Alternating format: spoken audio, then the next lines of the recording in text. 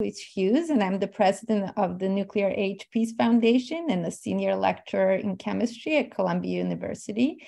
And I'm uh, very excited to be one of uh, today's facilitators. And I am Susan Theberge, uh, co-founder of Climate Action Now here in Western Mass at Springfield Climate Justice Coalition. And I am so honored and delighted to be here with all of you today. And we're going to start with just a little bit of um, business and then we'll get right to it. Uh, I wanted to let people know in terms of Zoom protocol that the chat is open right now. Please introduce yourself in the chat if you have not already, so we all know who's here.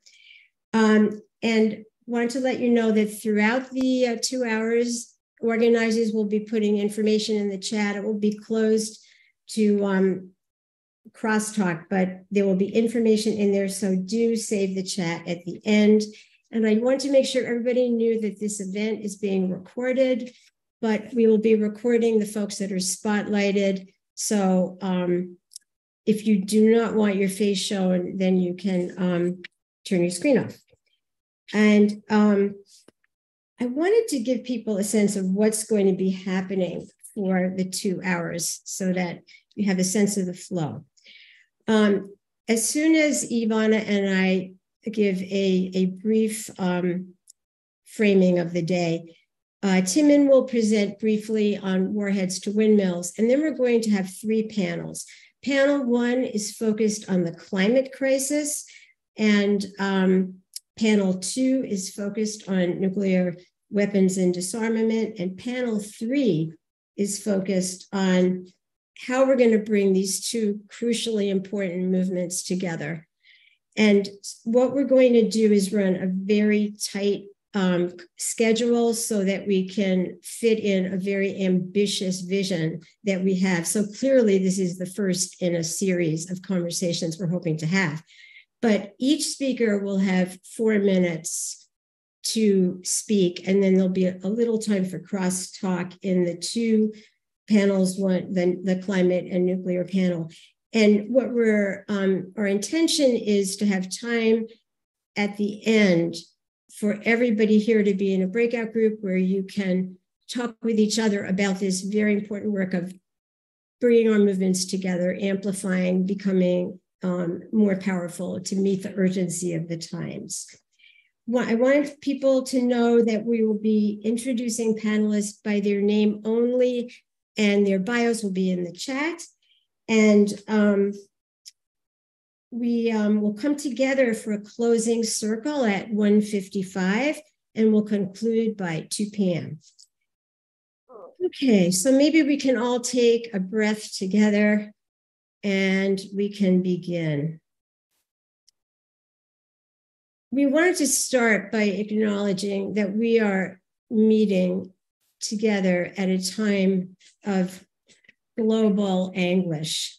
And we wanted to right up front name that we imagine that many of you are feeling a range of emotions despair, fear, anger, worry, overwhelm. Maybe some of us are feeling numb inside. But we are here in a common purpose. And if, if ever we, we should feel highly, highly motivated to address these issues, it's today. And we really appreciate everyone who's shown up today to um, explore these ex- existential threats in a time when the world is literally on fire. And we really want to honor the community that we're creating here today. It's a brief time together it's a virtual space, but we're a community and we're here with a common intention and, and a common purpose. Thank you, Susan. Thank you so much for the excellent introduction and, and um, those uh, heartwarming but sobering words. Um, today, we will be discussing two existential threats to our world climate change and nuclear weapons.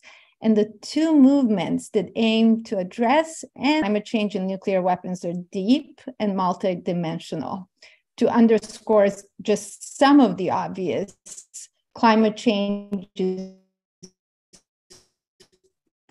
poised to increase the risk of conflict, which will in turn increase the risk of nuclear weapons use and catastrophe that would unfold as a result.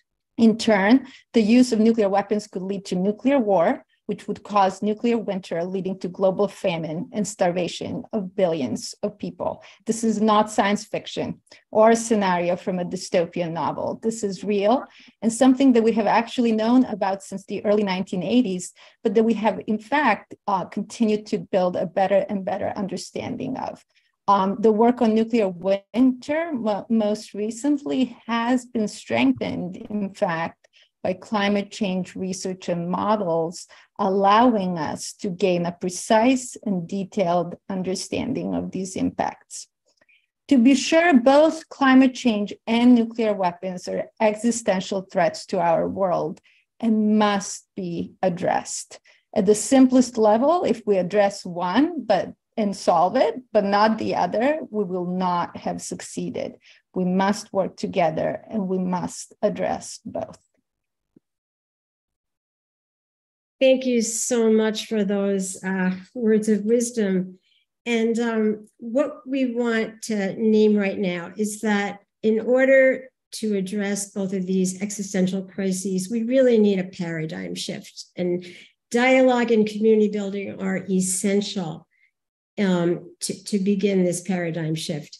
So, our purpose here today is let's help create that shift. And so, I now I say let the dialogue begin, and Timmon Wallis will give us a five minute overview of the latest warheads to windmills. Thank you, Susan. And thanks, Ivana, for summarizing the book. Um, and thanks to everybody here for, for joining us. Um, as Susan said, uh, this forum is a follow up from a webinar that took place in May. Uh, and some of you, I'm sure, were at that one. I gave a brief summary then of the report, the summary of our report, which um, came out in May, um, which uh, was an update from our 2019 report, which some of you may have seen. And um, we are now, well, this, this report in May actually said, you know, uh, on the back page, if anybody looked, it says the full report in book form will be available uh, on June 24th, which obviously is not the case. Uh, um, so um, I'm glad to say it is going to come out soon, um, officially on uh, November 30th. Uh, and this is what it's going to look like. Um, it's uh, a 400 page paperback with a lot of footnotes. Um, the reason for November 30th, I'm quite excited about because it's um, going to be launched during the second meeting of states parties of the Treaty on the Prohibition of Nuclear Weapons, which happens to be taking place at the same time as the 28th meeting of the parties to the UN Framework Convention on Climate Change. So uh, we're going to be having a live stream link up between climate activists who are going to be at the COP28 in Dubai and nuclear weapons activists who are going to be in New York to highlight the connections between these two existential threats, why they, uh, how, how we can work together more effectively, how we can learn from each other and build a really powerful movement. So that's what this book is about. It's it's uh, it's all about um, not just the facts and figures of climate and nuclear weapons, but also the myths and misunderstandings and half measures and false solutions that we've all been uh, struggling with up until now, and um, also about what we can do about all that. So uh, we know, for instance, that the president and the Congress will ultimately have to make the decisions that we need to end our dependence on fossil fuels and nuclear weapons. and we also know that they're not going to do that so long as their information and their advice and the money they need to get reelected comes from the very companies that are making huge profits from these things. So we know that we've got to put serious social and financial pressure on these companies if we have any hope of getting these companies to change their positions, and therefore any hope of getting their own politicians to change their positions. So this book is uh, a lot about strategy and tactics and how do we get to where we need to be. We know that we can do this because we've done it before in relation to apartheid and the civil rights movement. Workers' rights around the world have been through pressure on companies. the Vietnam War, the decolonization of India, and loads of other issues have, have been addressed because people stood up to these companies and said enough. And this happened in relation to nuclear weapons back in the 1980s, when cities and towns across the US started divesting from nuclear weapons companies and refusing to enter into contracts with them. Churches, colleges, and millions of individual consumers started boycotting um, products made by the companies that also make nuclear weapons, like Morton Salt and General Electric and Westinghouse and DuPont and Ford Motor Company. These, these had a huge impact in the 1980s. And when it comes to climate, of course, we're now uh, seeing this happen with over $20 trillion worth of um, assets being held back from the um, climate fossil fuel companies. And um, we know this, this can work uh, but we know we also need a lot more of it. So um, this book is about trying to build a movement.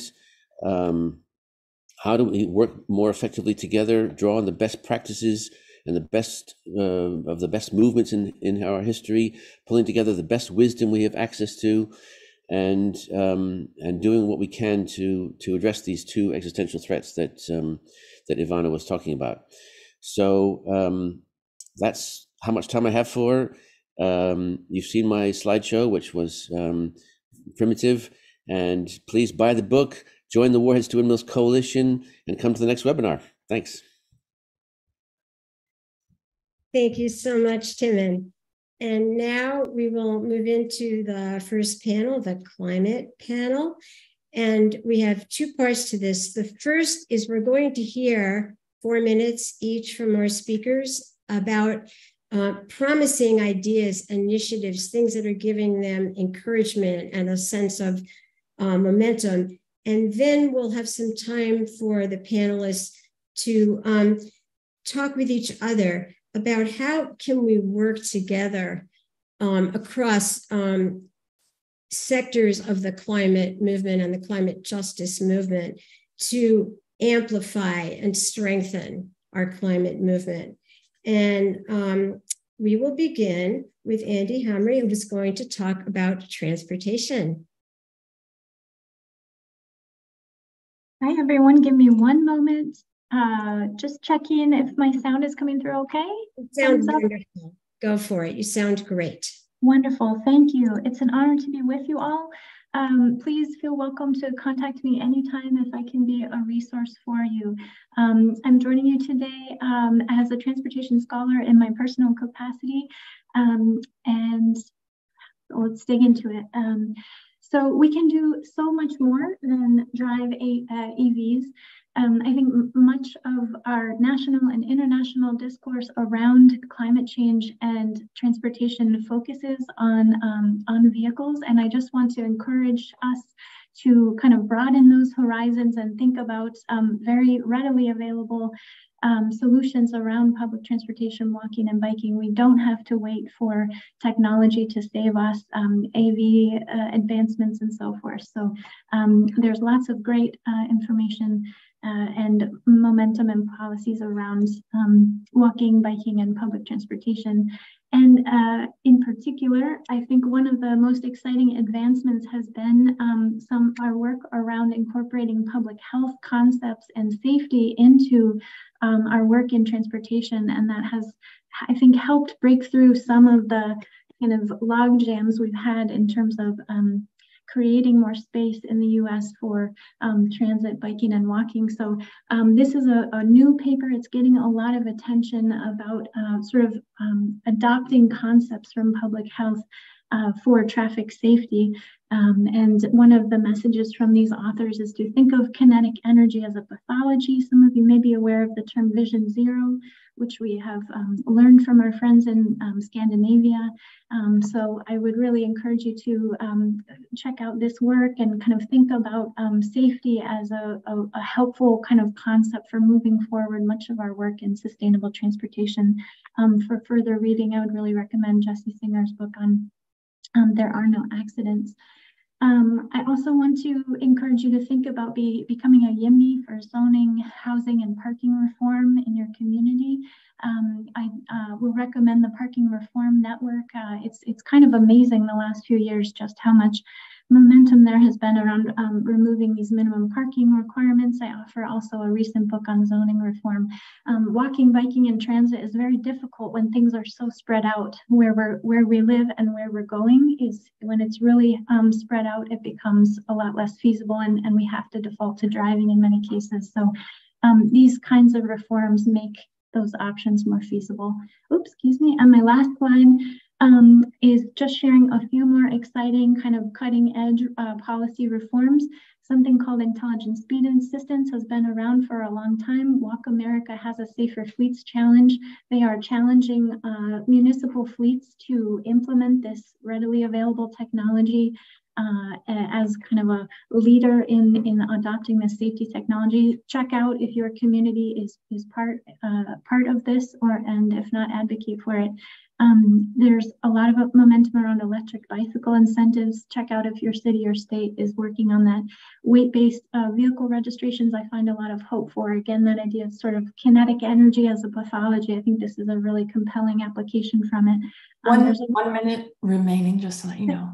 Thank you. Uh, and um, there's there's more in uh, from America Walks earlier this year had a um, a, a, message, uh, uh a webinar on um, tr policy trends, and uh, I offer this paper on uh, more effective interventions. Thank you for the opportunity to join you today.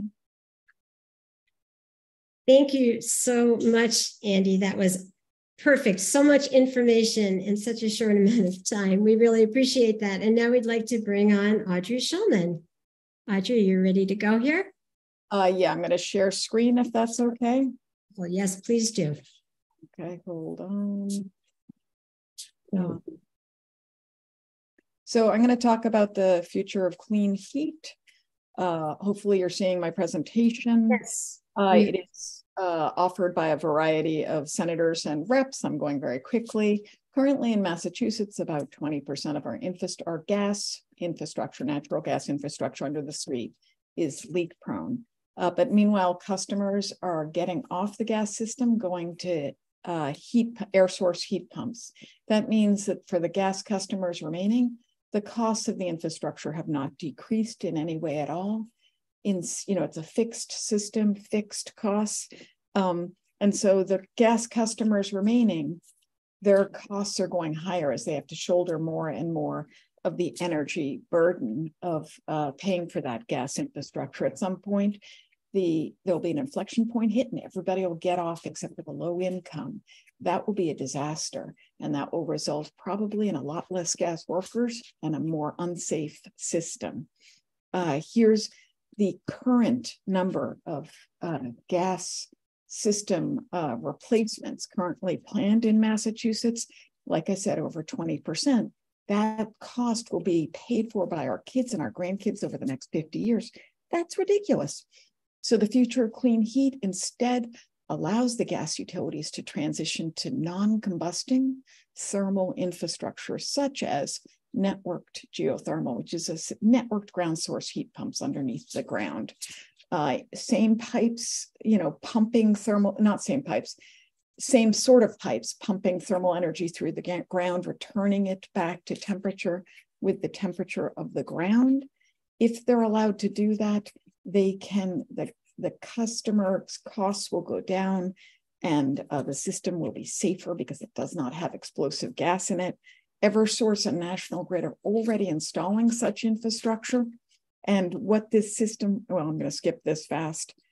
Um, what this bill would do is would allow them to figure out a plan, which would be great, and invest in non-emitting, non-combusting infrastructure, transition whole streets at a time. Uh, and for some uh, um, for some reason the show will not continue.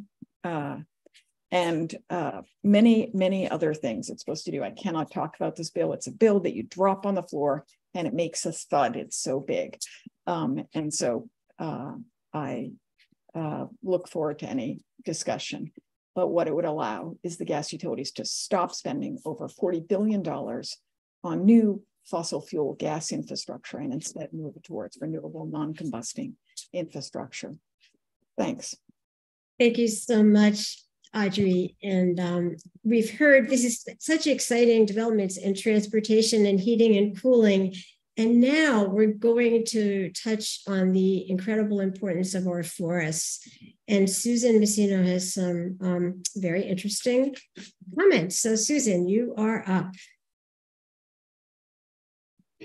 Thank you so much. And thank you to Timmon and everyone for this really visionary um, and interdisciplinary event, which is um, really what I'm interested in. So I'm um, trained primarily as a neuroscientist and very interested in health and come from kind of a first do no harm perspective.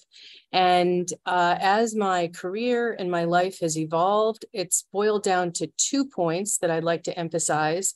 The first thing is that we absolutely need nature, no matter what the carbon is in the atmosphere, um, no matter what, we need natural systems for, for everything. And the other critical thing is we need to keep our brains in good health. And the good news is that these two things actually can work together to support each other.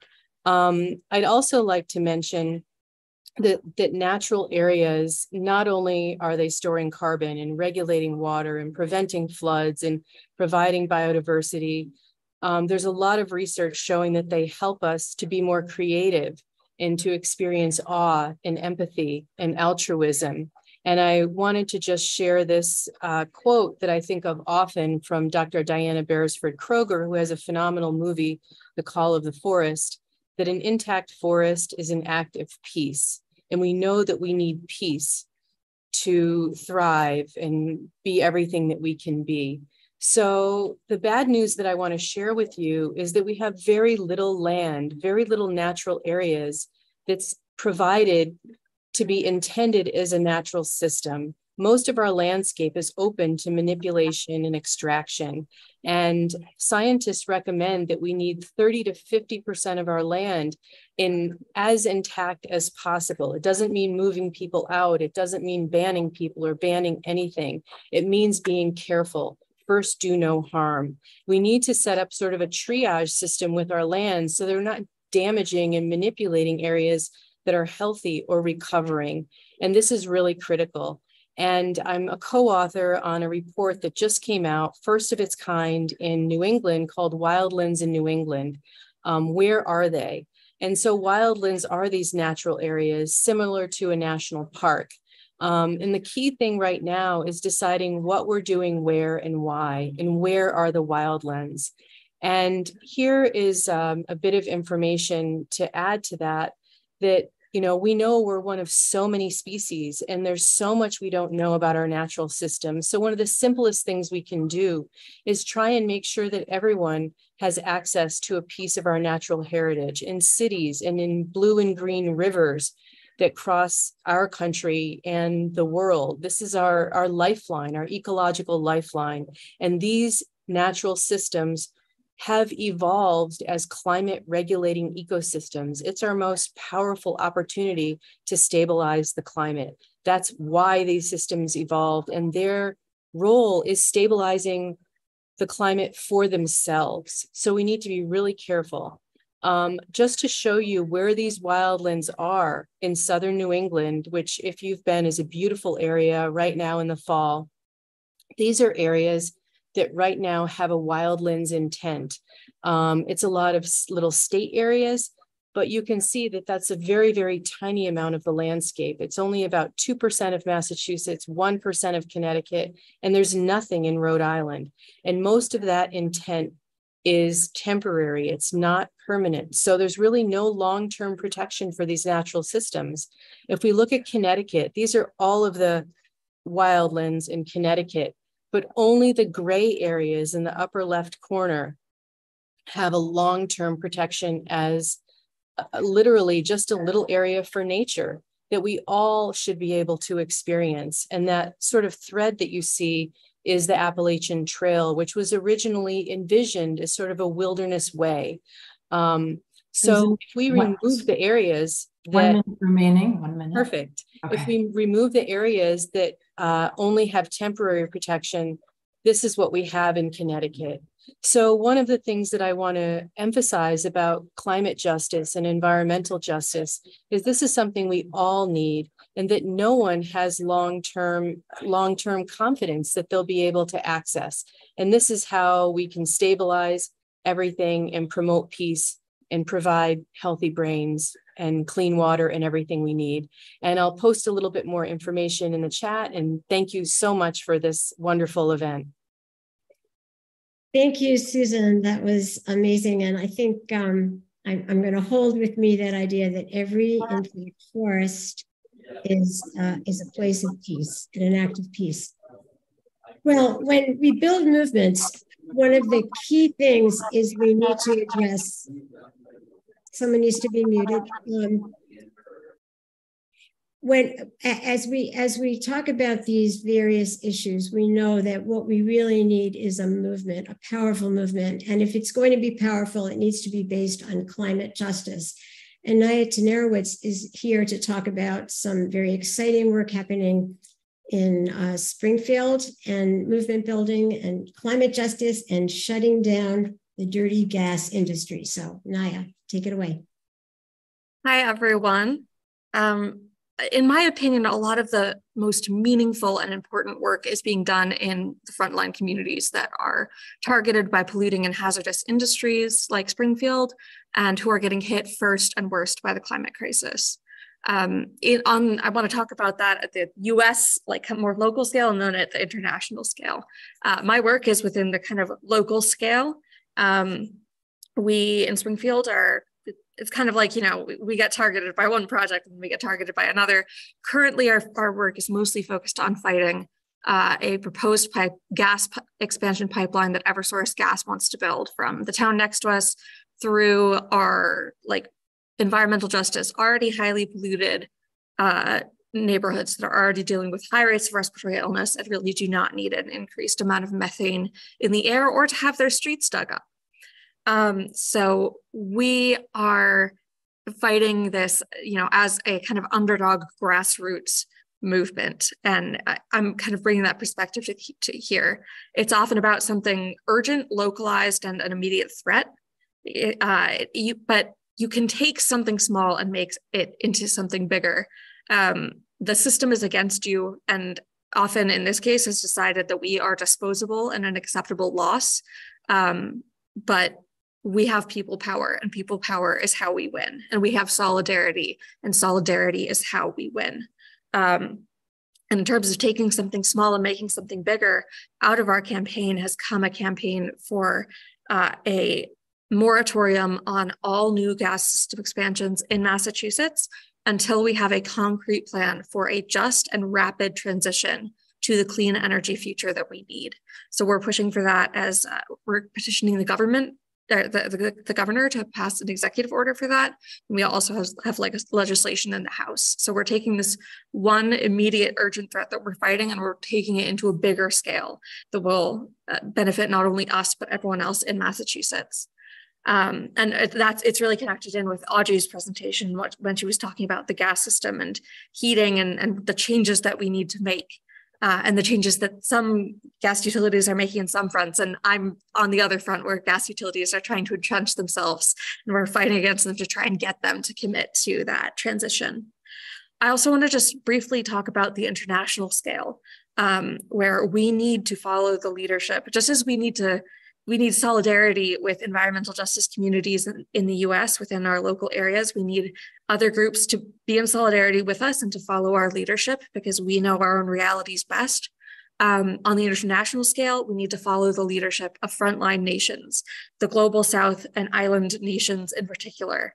Uh, the wealth that built industrialization, the wealth that has caused the climate crisis, was extracted from those nations. The profit and resources was drained to them at the drained from them at the beginning of industrialization, and that still happens. Millions of dollars extracted every year, leaving them without the resources that they need to protect themselves against the impacts of the climate crisis, which they have contributed to the least and are facing the impacts of first. Um, so I'm just, I feel very strongly that as citizens of countries of the global north, that it is our duty to push for our our uh, communities, our our countries to share our resources um, with those countries of the global south uh, because we literally owe them that those resources and that money um, and those resources are reparations and those are very much needed. So as we're talking about this change as we're talking about addressing these enormous barriers that we're facing these enormous risks we need to be keeping that in mind and keeping in mind that it's not just about us and our resources it's about the history of what has happened to this world and the other people in this world and what we owe to them. Um, Thank you for wrapping up your remarks in a minute or less, if possible. Yeah, I can. I just have a little bit more. Part of that's sharing resources and reparations. Part of that's taking in climate refugees. And part of that is listening to their realities and following their leadership. Frontline leadership, I, I cannot express the importance of that enough. Solidarity and allyship uh, with frontline groups, with frontline nations is absolutely pivotal if this movement is going to have a true commitment to climate justice. Thank you so much, Naia. So much in so few, so few minutes. And now we we have um, the this amazing group of folks uh, talking about climate, and we have a few minutes to have some cross conversation with our climate panelists. And our question is how can we work together to strengthen an climate justice movement? We know that um, our time is very short, and um, we know that um, we need to build power as rapidly as possible. So I'd like to open up this space for our panelists and see who would like to begin. Um, I, I, could offer just a, a, a brief remark. Um, I, uh, my dissertation was on transport justice. Um, I've learned a lot from uh, Carl Martins and um, Peter Norton on, on this. Um, oh, Peter Norton talks about asking the right question. We, we used to ask, how do we make a safer cigarette? And then we freed ourselves from that idea and we asked, how, how, can we help people stop smoking, right? So he talks about how we have been stuck on this idea of how do we make um, make better cars or fit more cars into our into our um, communities. And and we need to challenge ourselves to think how do we free ourselves from the the idea of car dependence? Um, so i just want to offer let's ask the the right questions and um, I, I see so much alignment with the concept of justice across sustainability affordability equity safety um, and so i think we do so well when we when we sort of um, think of the alignments uh, in that way i'll just offer those. Wonderful. Other thoughts that folks have? So uh, I would say that it's uh, that we need to transition quickly by aligning everybody. Uh, we've seen the the difficulties uh, with when we when we ask for natural gas bans. There is a huge pushback. I personally was at the Cambridge City of Cambridge uh, council meeting where they discussed the idea of a gas ban there. And at that meeting, which is normally attended by like three people, there were 150 people with a lot of mothers out front, folks, a lot of gas workers, the head of Eversource Gas, and, and others. Um, and everybody was ready to break into fisticuffs. Uh, and if you look at a map of the gas bans across the country, you will see a lot of blue states having gas bans and a lot of red states having bans against gas bans. And that is not a way to move forward quickly. That instead, we have to have everybody moving forward in the same direction really quickly. And so, what we try to do is align, uh, you know, everybody gas workers, gas executives, uh, you know, climate advocates like me, um, uh, industry, low income advocates, et cetera, to all understand that this is the best way forward. And that's how we need to move forward. Um, that's the fastest way and the only just way. Thank you. I want to say, yeah, go ahead, Naia. Please jump in. Uh, I want to say that there's there's so many connections between all of our different areas of work, but we can't discover those connections unless we get in the same spaces and listen to each other. All of us can be students of each other. All of us have a different expertise, a different perspective. Uh, and I really think that the the way forward is by building those connections between us, by building those relationships, by building an understanding of what each other are doing and opening dialogues of like, okay, this this is what matters to us, this is what matters to you.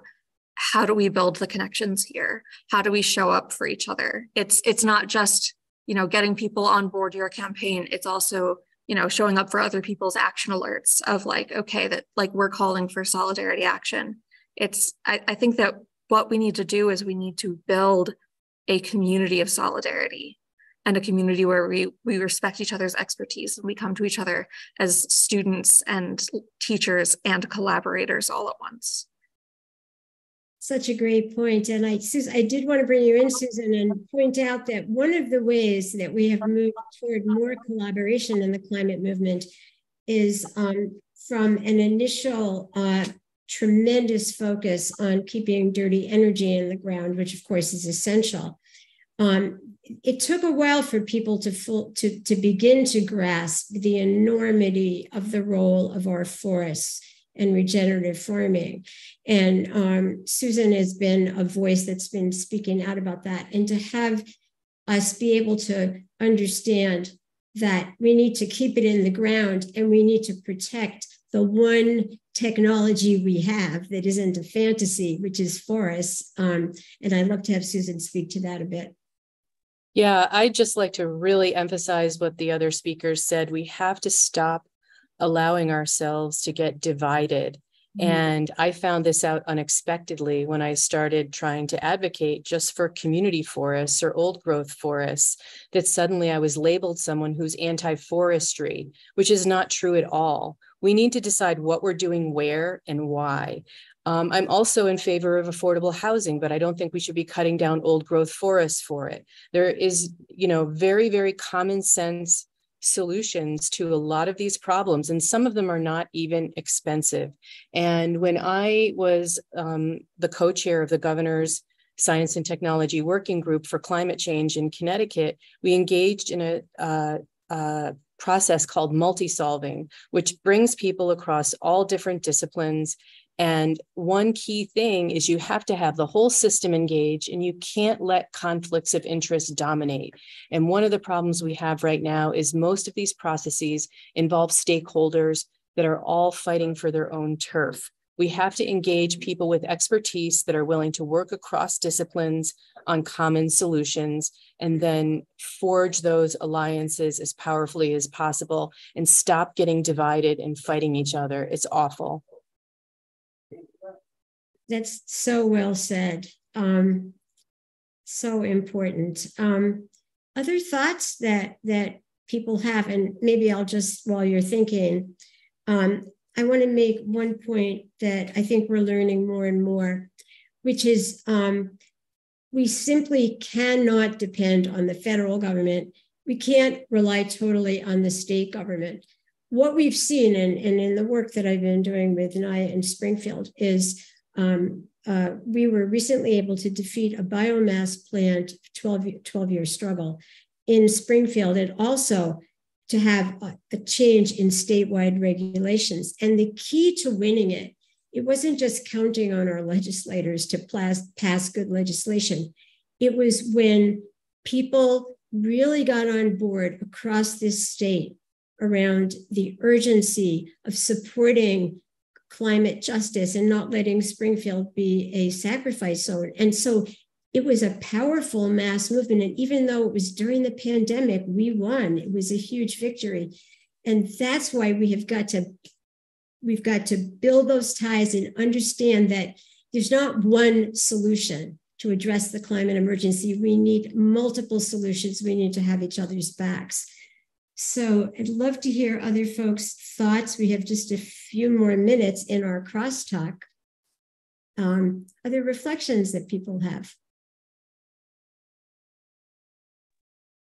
I, I just wanted to say one thing I didn't mention before. I'm actually at an event right now um, at Tufts University hosted by Biodiversity for a Livable Climate.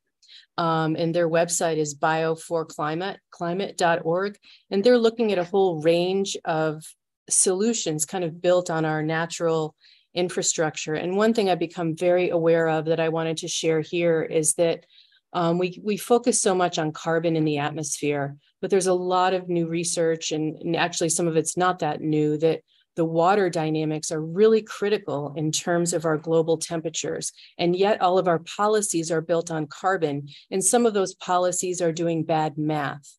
So we need some really serious analysis and um, open-mindedness to science. It's actually, I think, a diversity and equity and inclusion issue that some scientific voices are being shut out. That's not acceptable. Science is never 100% settled. We have to keep on thinking through these things and making sure we don't make wrong turns where we don't have time for that.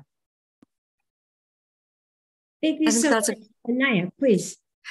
I think that's a really great point that we need to be open to evolving understandings. We need to be open to, you know, hearing things that aren't what we thought was, you know, what what's up. Um, and I, I want to use that as a, a, point to mention something that I failed to mention in my previous bit, which is we need to listen to indigenous voices. The they have the they have been coexisting with this land for millennia and in the, the few hundred years that colonization has been going on, we have done so much damage. Um, so I just really want to make that a call to learn about your local indigenous communities, uh, see how you can support them, and just in general support indigenous sovereignty and land back as a solution and as a way of bringing ourselves back into like harmony and and uh, sustainability and good relation with the land. Thank you so and much. water. Yeah, thank you so much, Naia. It, you know, when it really comes down to basic principles, that is such a key point. And also, when there's a frontline community and a fight, and this is very connected to that, that it's the folks who are on the ground the closest to the struggle that really need to have leadership of that.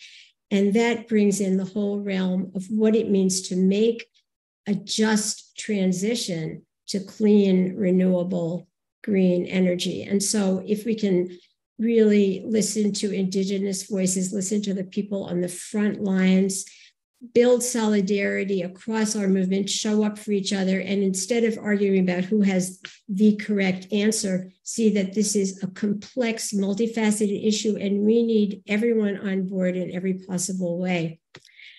So, unless anybody else wants to drop in a final word, we're going to move to our next um, panel. But yes, Andy, it looks like you have a final thought here. No? Okay, so I want to thank you all so much, and we're going to continue. This is a great example, let me say, of the dialogue that's going to lead to the paradigm shift. And I, I, I truly appreciate all of you for your sharing. And now we're going to move to looking at how we can support efforts to um, end nuclear weapons. Thank you all, and uh, we'll be hearing from you later. Thank you so much, Susan. Uh, I think Brian will spotlight me. Thank you so much, Susan, and thank you to all of the panelists, um, really for the excellent remarks and discussion. Uh, this is such an important issue, and I'm I'm really thrilled and, and encouraged uh, by the discussion uh, that that just occurred. So we are now going to talk about nuclear weapons, um, and this, of course, is a topic that, as Timmon highlighted, had very much been on the public's mind, in particular in the 1980s, but had um, in more recent decades really receded from consciousness even as the threat actually um, never went away. So we are going to hear from three leaders about some of uh, the efforts that are going on today at both the local and the national level, and then we'll talk more um, at the end, of similar sort of setup as with the climate panel. We'll talk um, at the end about how we, all of these efforts can come together. So First, we'll be hearing from Paul Gunter, who is going to speak about nuclear free zones. If we can spotlight Paul, that would be great. Thank you, Paul. The floor is yours. Thank you very much. Um, I, I really appreciate the opportunity to present on the establishment of nuclear free zones. Uh, nuclear free zones are the epitome of act local, think global, just as we can no longer safely and responsibly operate in a bubble at the expense of effectively using democracy to protect our planet and our climate from accelerating existential threats. Takoma Park, Maryland, which is where I am, uh, just outside of Washington, D.C., is coming up on its 40th anniversary as a nuclear free zone established on December 15, 1983, uh, by a uh, municipal city code under health and safety as the Nuclear Free Zone Act.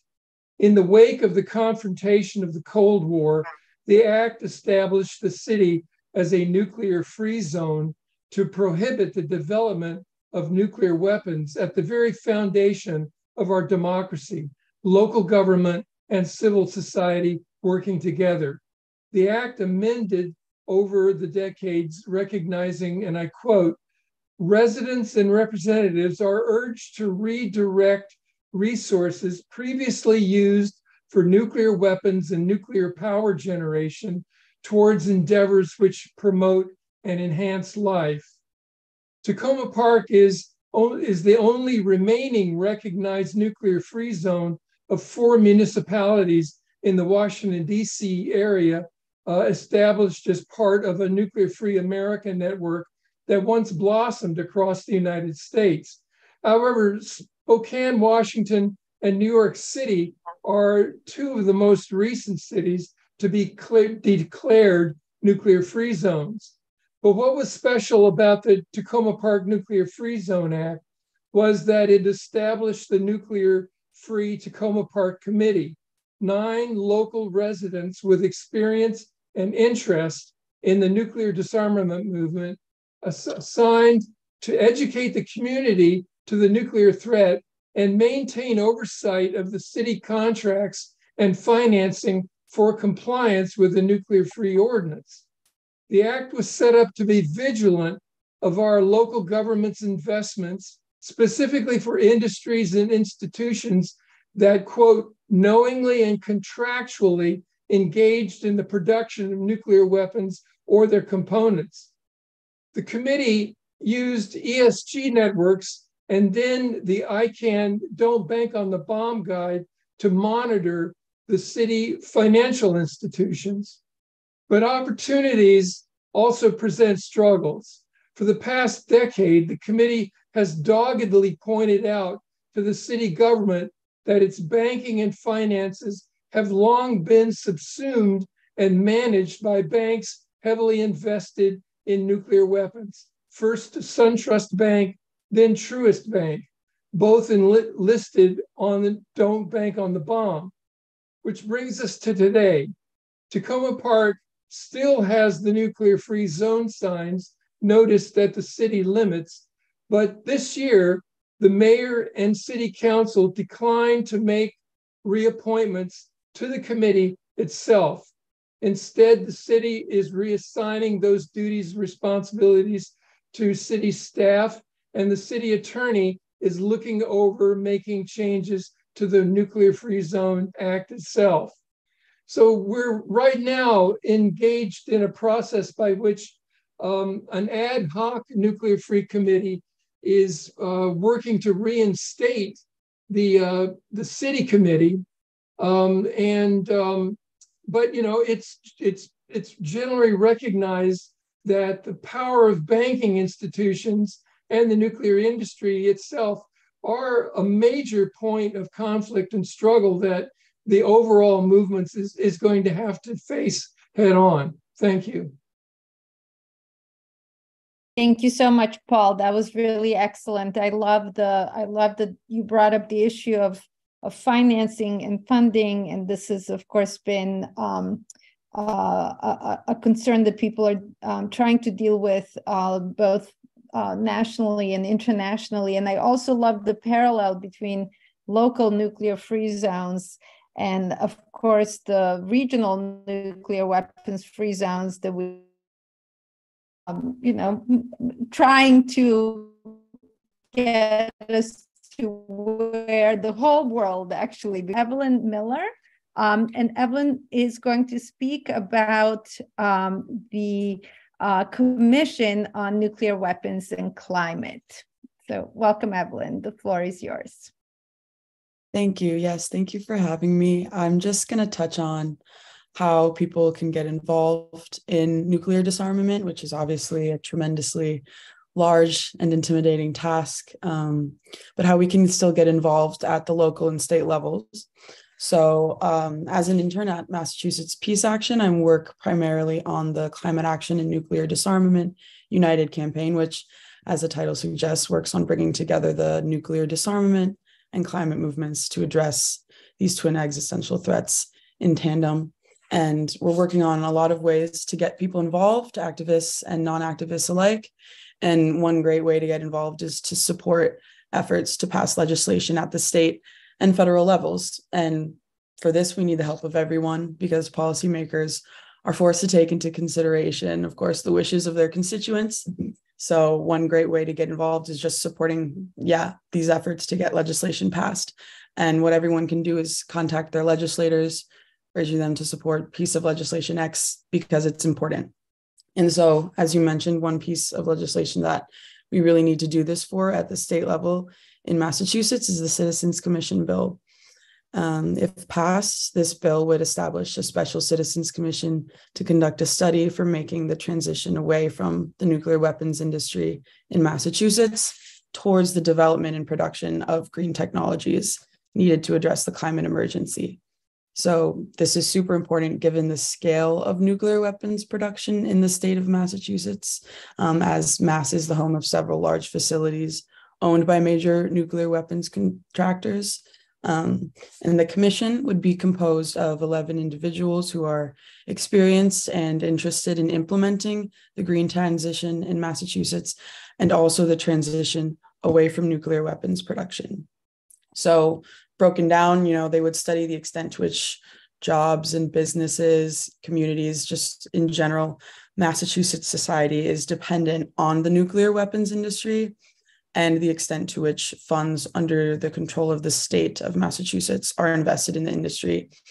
Um, figuring out this is, of course, necessary to instigate the transition that we need um, in Massachusetts and then eventually at the national level and international level. And Massachusetts can set an example for um, other states to follow and as well as um, at the federal level. And so, again, what people can do is just let um, their legislators know in Massachusetts that we need to pass this piece of legislation. There's currently a version in the state house and senate both of which have had hearings and are in committees so you can look these up and message the committee members and tell them that this this bill needs to get out of committee and it needs to get a vote at both the house floor and senate floor. And if you are outside of massachusetts an easy thing you can do is just send a message to your reps saying we need a version of this in our state um, because this commission is super important and it's a really great way for us to sort of instigate this transition specifically to nuclear disarmament but also to um, clean energy thank you Excellent, Evelyn. Thank you so much. Um, and now we are going to hear from Bob Dodge, who will be speaking about the Back from the Brink campaign. And we can spotlight Bob. Perfect. Thank you so much.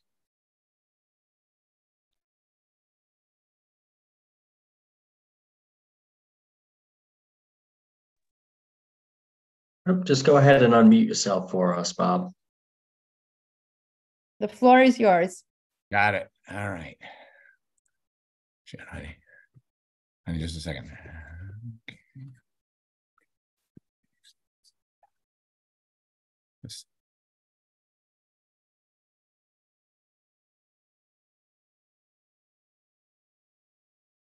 I love it. Love technology. So, any rate, thank you so much for having this opportunity to be here today.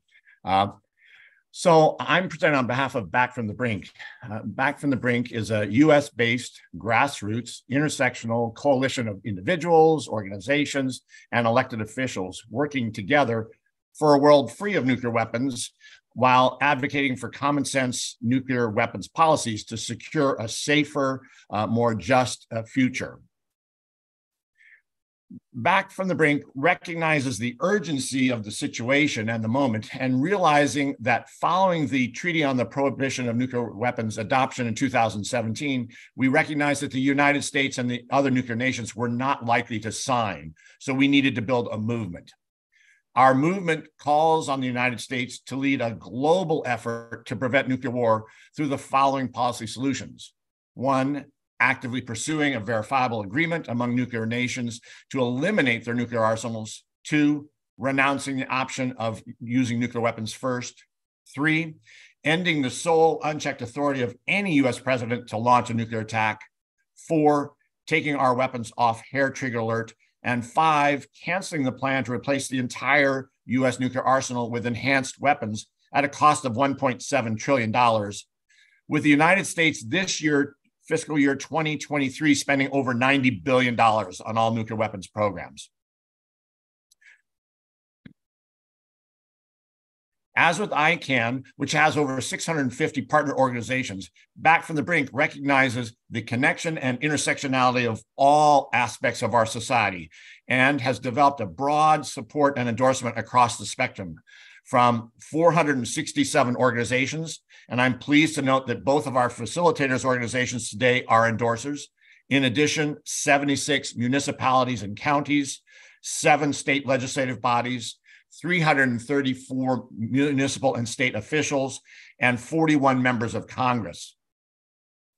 We've achieved this by finding common ground and cause in our communities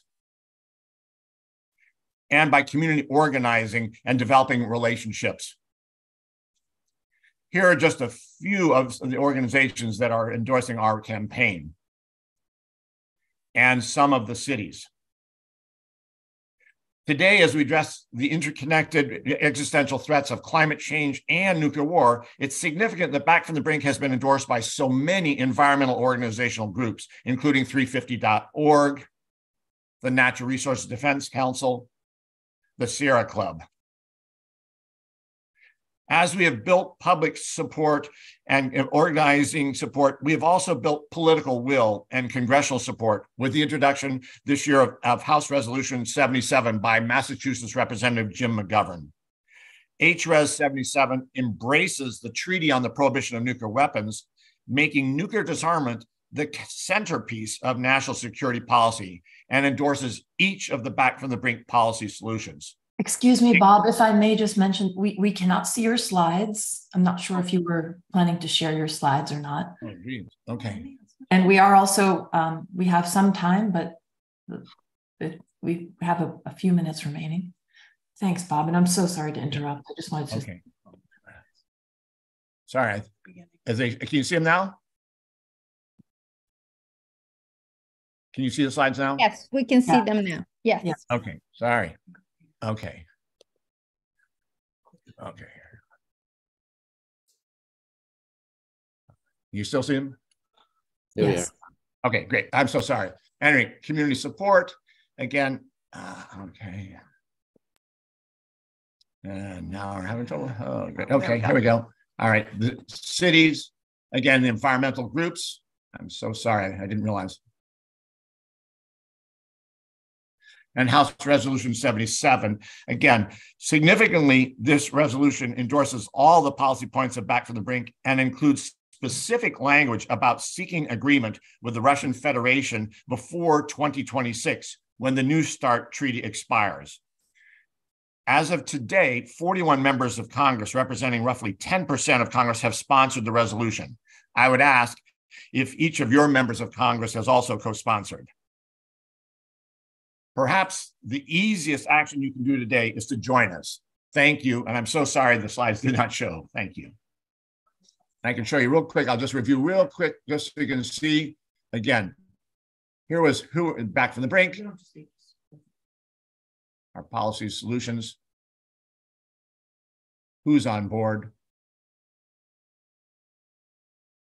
Finding community, community organizing, part of the organizations, municipalities, and environmental groups. Thank you again. Thank you so much, Bob. And I, I apologize that I didn't point out that the slides weren't showing. I, I thought maybe you were um, you were just giving us the information, but the visuals definitely help. Uh, so I'm glad we could get those in at least at the at the very end.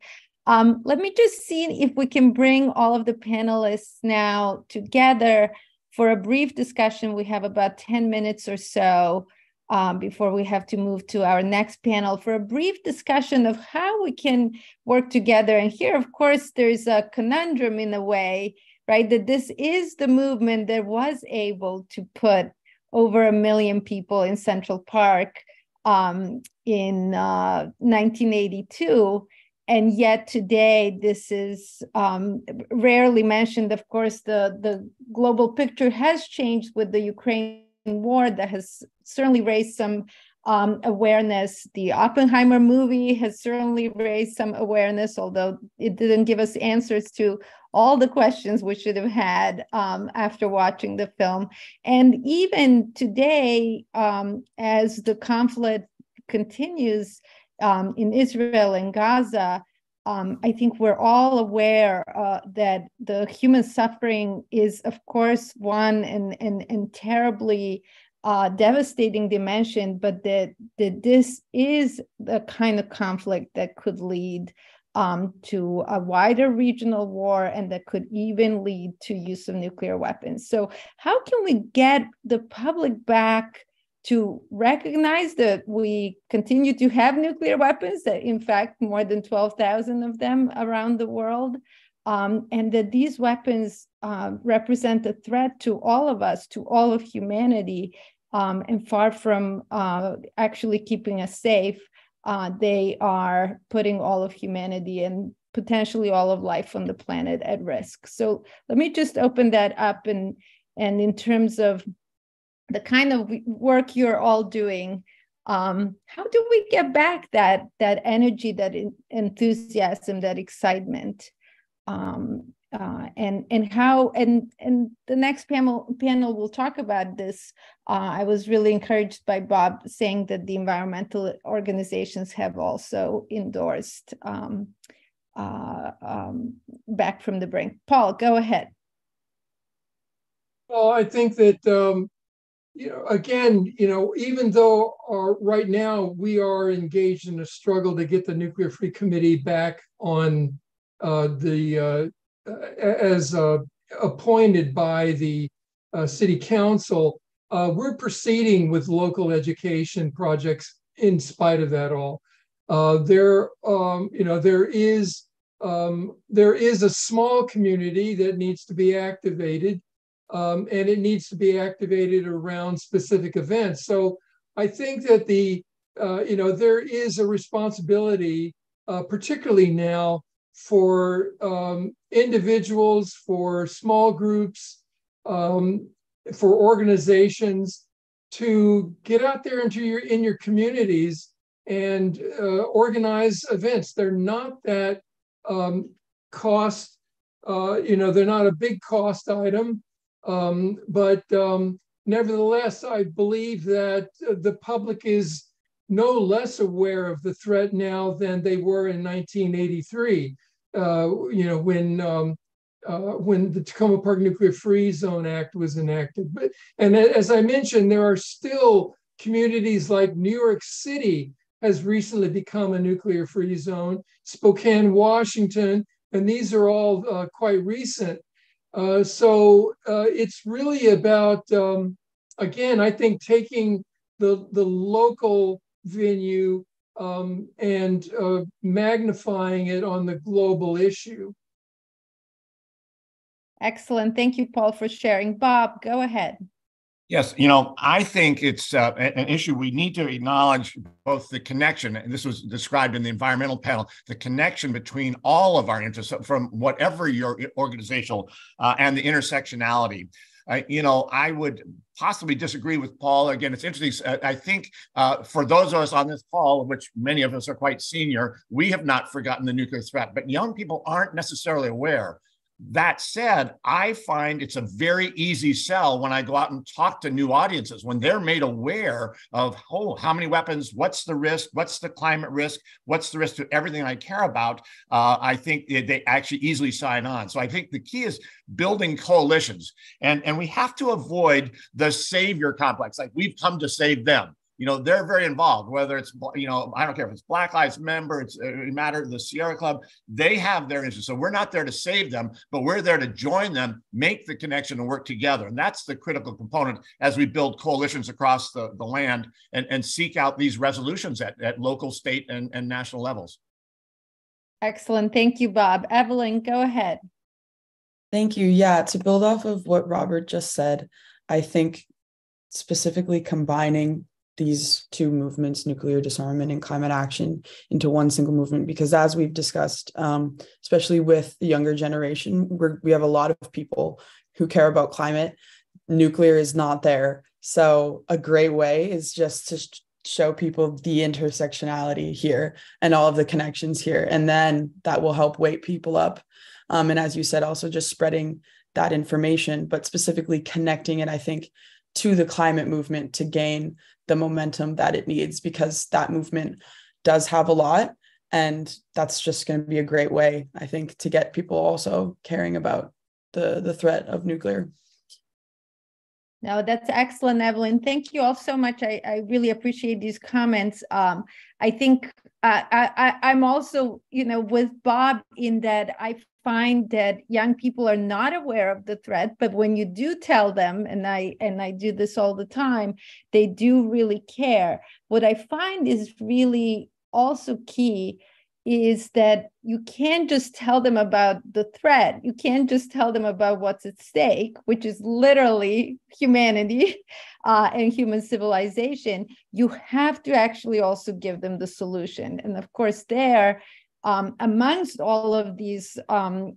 excellent efforts and initiatives at the local and, and national level here in the United States, we do now actually have an international treaty, um, a, a, a, legally binding treaty that bans and prohibits nuclear weapons. And I think that kind of a development is really um, I mean, to me, incredibly exciting, uh, and and I think it's something that that young people can also really um, rally around. I want to just raise the issue of uh, funding because, of course, um, since we're talking about both climate change and nuclear weapons, it sort of seems like a no-brainer, right? Because in one case, you actually have to stop spending money, right, on nuclear weapons.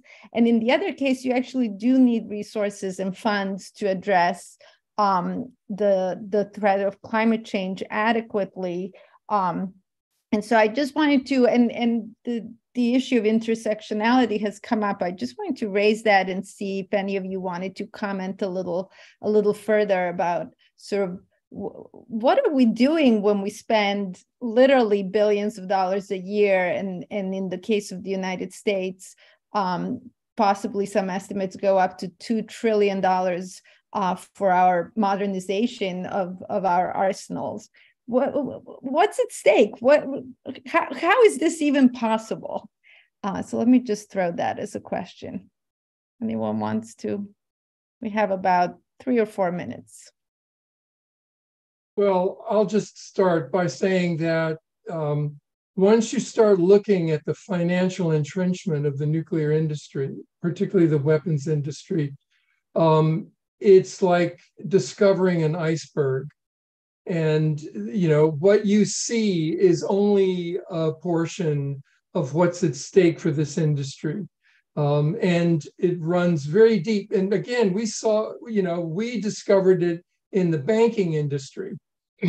and um, that's a critical juncture that um, you know we need to address, um, and it is uh, deeply entrenched, uh, not only in our um, uh, uh, the structures of our government, but in our personal lives as well. I mean, that uh, you know, it, it, it takes a deep introspection to look at how deeply uh, invested this country is in nuclear weapons, and it means some very fundamental changes, and it's going to be a challenge. Yeah, I would, excellent point. Go ahead, Bob. If I'd like to chime in. So again, I, I, echoing what Paul's saying, I mean, it is, it's a very difficult challenge. And, and you know, unfortunately, uh, nuclear weapons in particular, but the defense industry has become a jobs program, which was never the intent of the founding fathers, et cetera. Uh, so they, they put a widget in each community, et cetera, you know, again, as part of the nuclear complex that said, for over 30 years, I, have directed what's called the Nuclear Weapons Community Cost Project, uh, where we calculate what the United States is spending on all programs nuclear. And this year, fiscal year 23, uh, it's over $90 billion. And so on the project, we actually identify what each city is paying, what Tacoma, Washington is paying, what Santa Barbara is paying, what Ojai is paying, uh, you know, again, Northampton, et cetera. So what you pay, you can actually look and identify if you want to calculate your individual tax dollars going to all programs. But that said, I have also found it to be a very reasonable tool to engage and to connect with individuals. Some people who may be very conservative and say, well, you know, we, uh, you know, I think we need to fund this and this and this. And I say, well, you know, we're funding nuclear weapons for this amount. How do you think for your pet project? And so it actually is a bridge, I think, some of the financing, but obviously it robs from every part of our society to to invest and build these nuclear weapons complexes. So. Absolutely. Thank you, Bob. Any parting words from any of you? Evelyn, well, did you want to add that, uh, anything?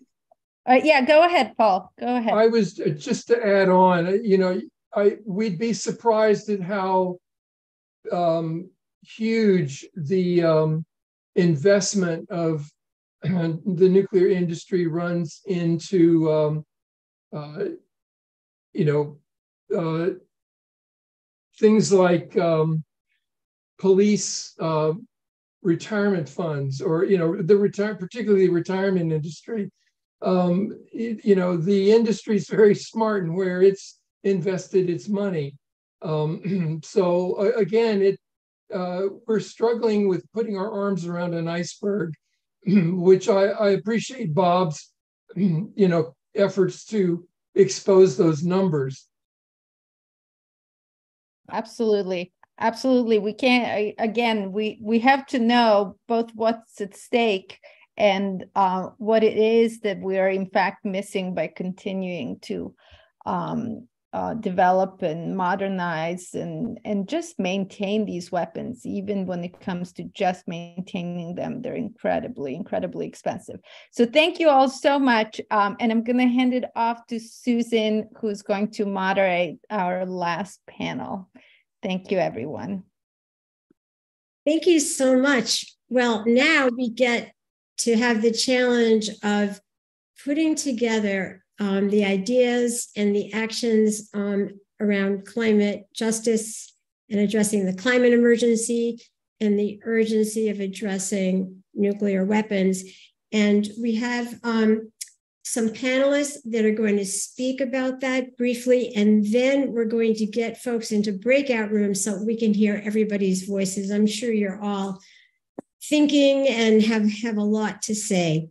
So um, I'd like to start with uh, Vicki Elson, who is going to begin to address the issue of bringing these two crucial movements together to amplify our strength and our power. Vicki. Hi, everybody. So, the demand of the Warheads to Windmills Coalition is very unequivocal and clear. It says to the US and the other eight nuclear armed nations Eliminate your nuclear weapons now. Use the money, brain power, jobs, and infrastructure to cut global carbon emissions in half by 2030 and to no more than the Earth can absorb by 2050. And the members of the uh, National Coalition so far are organizations like Peace Action, World Beyond War, Code Pink, Pax Christi, WILPF uh, US, Veterans for Peace, Nuclear Age Peace Foundation, and uh, at the state level, we have more climate organizations, and we're really working to build climate and peace organizations at, at every level. Um, an example of the local levels of Massachusetts Coalition, we have, excuse me, Climate Action Now, 350 Mass, and other organizations. And Evelyn told you about the coalition bill. in, uh, in Massachusetts. So when organizations join the coalition, the Warheads to Windmills Coalition, um, they can expect that emails and meetings will be minimal, but they can expect to help build a powerful movement to work together on educating the public and politicians that we don't need or want nuclear weapons. We don't need or want to keep burning fossil fuels. And in fact, if we want to survive, we have to abolish both. So, as a coalition, we're building tools for political advocacy.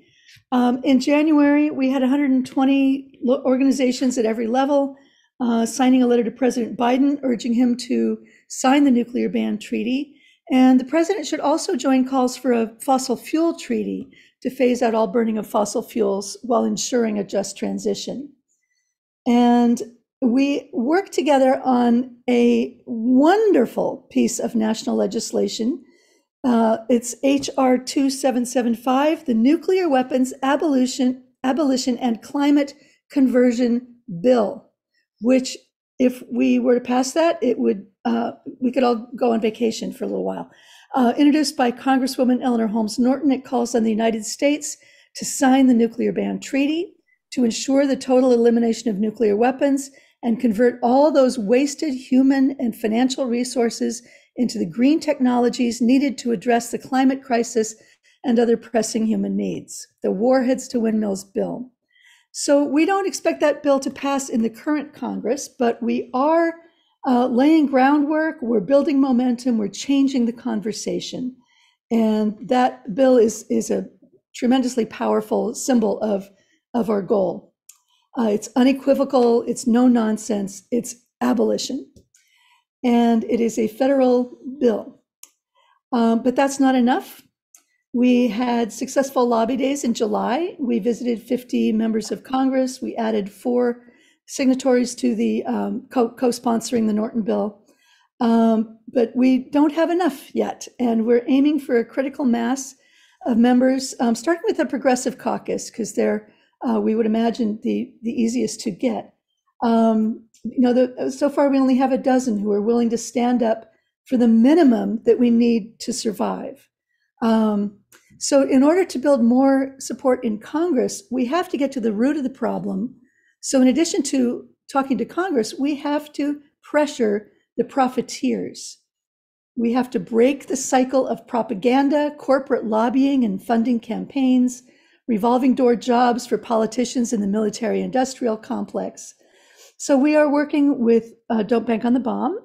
Uh, we're working on uh, boycotting, at, especially at the city level, because there aren't very many consumer products anymore made by the same companies. But if, for example, here in Northampton, if a company wants to do business with the city, they have to tick a box showing that they are not involved in nuclear weapons.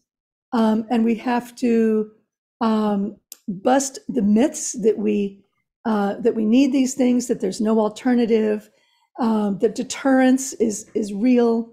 Um, so thank, if thank you, to, just for wrapping up. One minute remaining. One minute. Okay. You. So you can participate as an individual. There's a great tool for writing carefully tailored letters on uh, the Warheads to Windmills website uh, to members of Congress. But we'll really have more momentum as more and more climate and peace organizations join the coalition and we can take actions en masse and solve this problem once and for all. Thank you. Thank you, uh, Vicki, for your inspiring words and um, getting us all galvanized. Now we'd like to hear from Robert Pollin. You are on, Robert. And you can begin speaking while we switch over the images, Robert. Okay. Uh, thank you very much for organizing this, and thank you very much for having me. Um, so uh, I want to make just a couple of very, very simple points that really build on what other speakers have already addressed with respect to both climate issue and um, nuclear. So uh, first of all, um, there's yes, there's a range of climate solutions, and we've heard um, some really good thoughts with respect to that. And I, I just want to focus back on the most simple, straightforward, and also most important uh, climate solution, which indeed is to abolish fossil fuels. Uh, I know it's been uh, it's been highlighted already, but I want to re-highlight it uh, because if we're talking about uh, uh greenhouse gas emissions, 80% of the solution, 75, 80%, is burning fossil fuels to produce energy. So if we're going to uh, have any chance of stabilizing the climate, we have to start there. And yes, fight vehemently against all the interests that are supporting fossil fuels. Now, in doing that, we also have to be equally cognizant about creating alternative uh, clean energy systems. And alternative energy entails both investments in high efficiency and uh, renewable energy, as well as things like alternative transportation, uh, clean transportation that we've heard about. Now, in doing that, it is important in building a movement, in my view, for people to understand that there are important co benefits of uh, advancing an alternative global energy system in terms of public health, um, in terms of access to energy itself, uh, affordable energy. And third, the one I want to emphasize a bit more right now is in, in terms of job creation. We've heard already, and it's true, that uh, the nuclear industry promotes job creation. Any investment will produce job creation. The question is how, uh, how many jobs? How significant is the job creation? And some of the research that I've done in conjunction with activist groups demonstrates that advancing a, a, clean energy agenda is a far superior source of job creation than anything to do with either the fossil fuel industry or the nuclear industry. So we need to make that point clear. At the same time, if we're talking about jobs and we're talking about building an active, uh, formidable, powerful movement, we have to recognize with respect to uh, abolishing fossil, fossil fuels, just as with abolishing nuclear weapons, that there will be jobs lost. Specifically, there will be jobs lost in the fossil fuel industry. And that will impact families that are dependent on these jobs and their communities.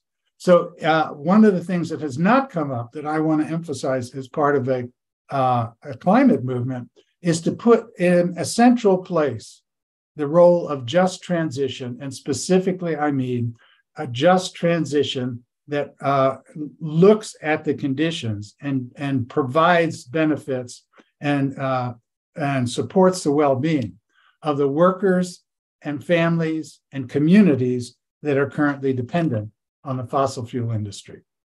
Now, uh, the next thing I want to mention is with respect to building an alternative energy system is a question that comes up a lot in progressive circles, which is should nuclear energy be part of a climate solution? Uh, a lot of very prominent, respected, indeed progressive people uh, are advocating strongly for nuclear energy as a climate solution because generating electricity through nuclear power does not emit uh, um, carbon or greenhouse gases, and including people like James Hansen, probably the single most prominent climate scientist in the world.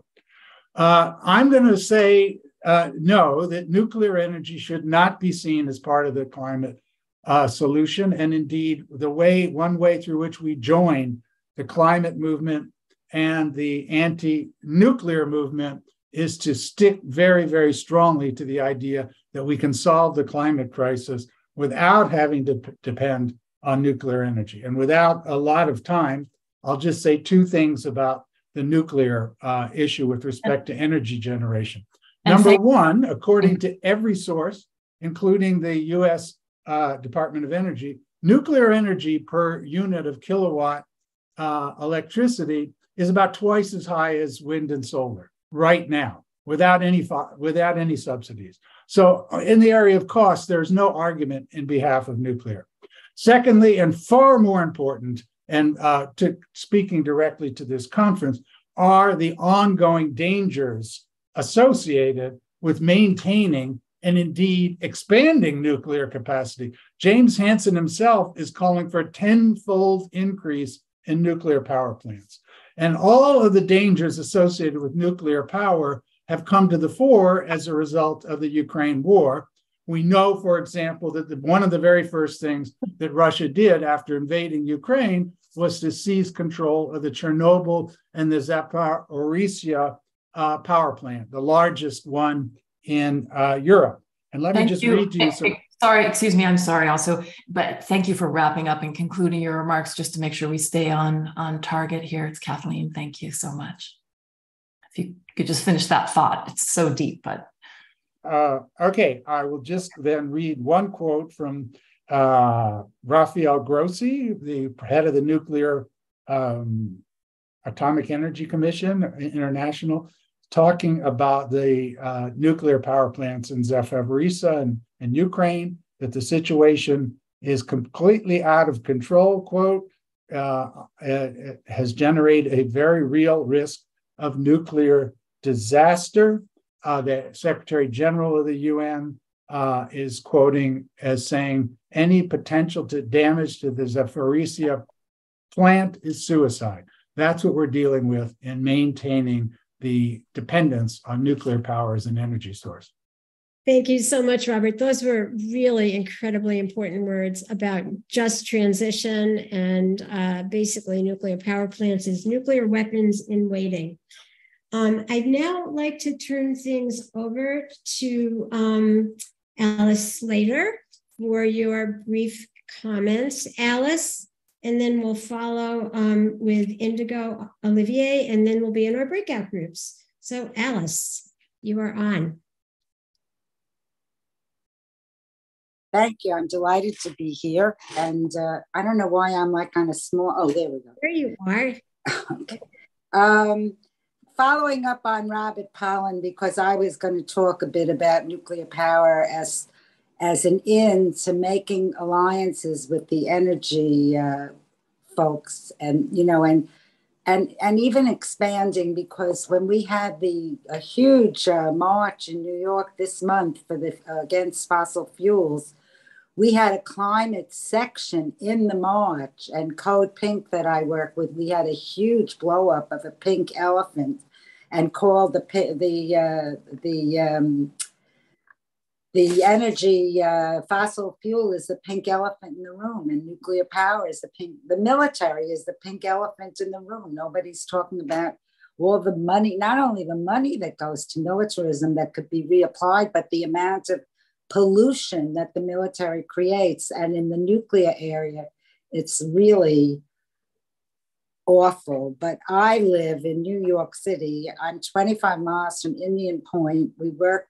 for years to close it down. And when 911 occurred and they had the Al Qaeda documents and they knocked down the World Trade Center, in their documents, they were considering Indian Point as a target. And that would have made us into Chernobyl or Fukushima. And right now, Fukushima is dumping their waste into the Pacific Ocean. It's going to go all over the planet. And that's making climate people aware, people that want to have clean water and the, and not kill all the fish off. You know, this is the the thing about nuclear waste is that it lasts sometimes for a million years, it, at least a hundred thousand years. Some of it, like a minimum. We actually stopped them from throwing it in a hole in the ground in Nevada and Yucca Mountain because we had a Nevada uh, uh, House representative was chairman and speaker of the House, and he stopped them from putting it in. They were going to bury it, but what happens after they bury it? I mean, in, in a couple of years, it's gone. Here in New York, where I'm living, Holtec took, we got the thing closed, but it was some kind of really nasty deal where the, where the governor made a deal to give another 10 billion to three upstate nuclear power plants to close Indian Point, the one near New York, and now we're dealing with the cleanup and the waste. And they wanted to dump the tritiated water in the river, the Hudson River. And this was a huge grassroots campaign with environmentalists. Now, nuclear power, these environmentalists are now getting into these other networks throughout the country where we're shutting down nuclear weapons systems. We've created a horror at Hanford where they did the uranium in in uh, in um, in Ohio, Paducah, Kentucky. They they enriched uranium for the bomb. There's horrible pollution in the water in St. Louis. They have plants all over the Hanford, uh, Amarillo, Texas, on the top of the Ogallala Aquifer, the world's largest freshwater aquifer. So I, one minute remaining or, or less, if you could wrap so up. just to get back to where Bob was talking, I thought that when Russia invaded Ukraine, you know, after there was 13 years of, they killed about 13,000 people in the Donbass before they invaded, you know, the first thing he did, he went to all the nuclear power plants and took them over. And I think he just didn't want Ukraine to get their hands on the bomb because the what the Ukrainians that, that Russia was afraid of came out of the Nazi tradition. You know, they were invading the Donbass with swastikas. I mean, there's such insanity going on, and our media doesn't tell it. So I think uh, it's terrible what they did there. But then you can't trust the IAEA. I mean, they tell you that there's no. Thank you. no, Thank you, uh, Alice. I'm sorry, Kathleen here, just I'm the moderator on the timing. So we're going to move on now. And if you want to just conclude that sentence would be wonderful. Yes, I mean, you can't trust the International Atomic Energy Agency because it's corrupted like our nuclear regulatory agency, like our Pentagon people. They're paid by the industry to lie about the health effects and what, and they say it's a beneath regulatory concern when they talk about the tritium that Holtec was going to dump in the Hudson. I mean, that's ridiculous. Thank you. Thank you. Indigo, I believe you're the next speaker. I'm, I hope you're up, uh, ready to go. Thank you, Alice. Thank you. Yes, uh, Indigo, please. Uh, unmute yourself and begin. Hi, um, thanks for having me.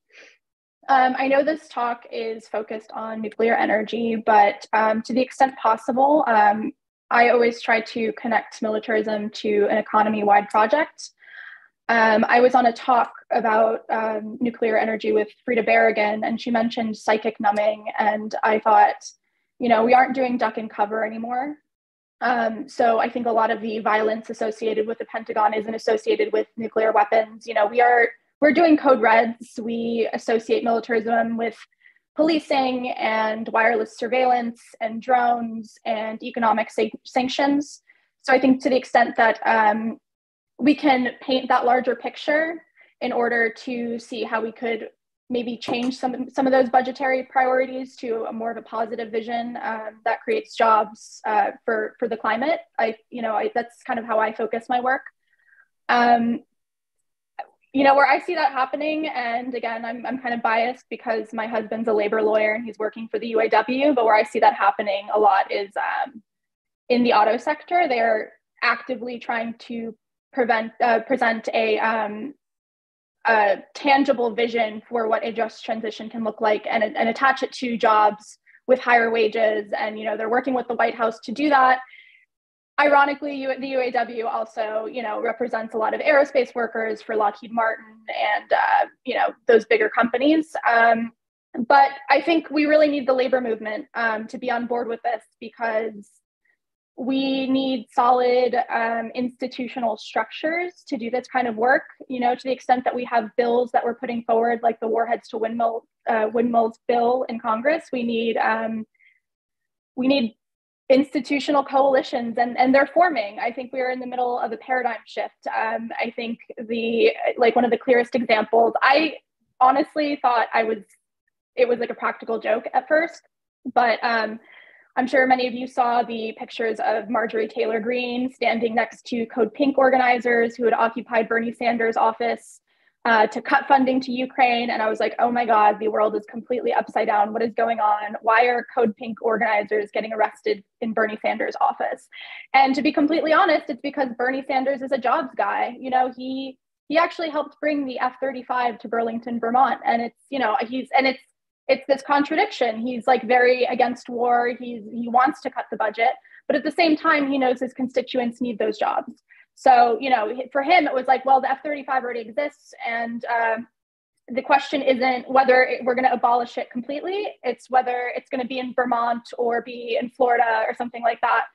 Um, you know, obviously, we need more creative thinking um, if we're actually going to um, cut the budget and ratchet down tensions. But again, that positive vision, I think, isn't necessarily purely focused on abolishing nuclear weapons. It's more um, like shifting, like working with that paradigm sh uh, shift and um, showing alternatives. Like we we need to promote diplomacy and communication and consensus. So Thank you, Indigo. This is Kathleen. We are wrapping up and moving on to the breakout session. So if you want to finish those thoughts and lead us towards our ability to have everybody uh, speaking shortly would be great. Thank you.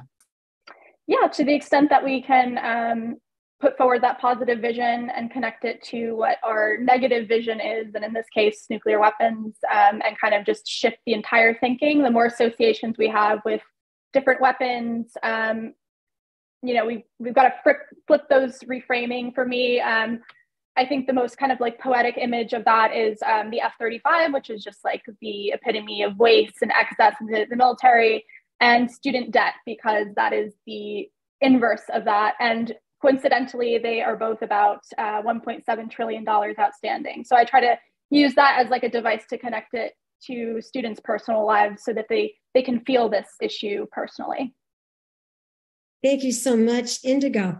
So um, our, our, panelists um, have covered some of the connecting points between building the climate justice movement and building a movement to abolish nuclear weapons. And now we want to give people some time in breakout groups so that everybody can have a chance to air some of their thoughts and feelings. And just to let folks know that we're going to be having people recording, make sure that there is someone recording um, in your group so that we can uh, uh, email out to everybody the essence of what's happened in all the breakout groups. So you will now be placed into um, breakout groups and a facilitator will join each group and then we'll come back for a five minute closing of the circle.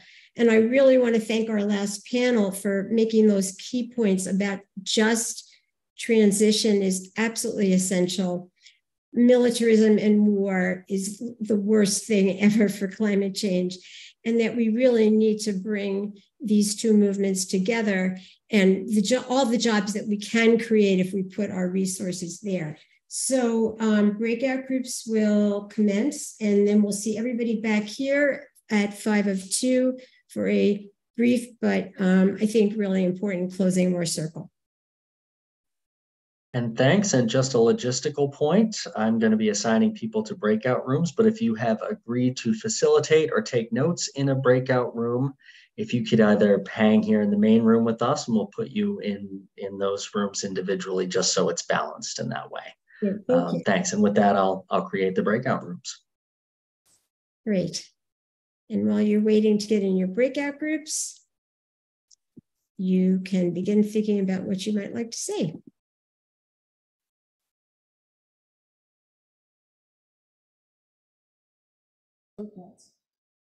There's no separate link for the breakouts. It's, it's in, well, it's from the mapper. It's from mapper.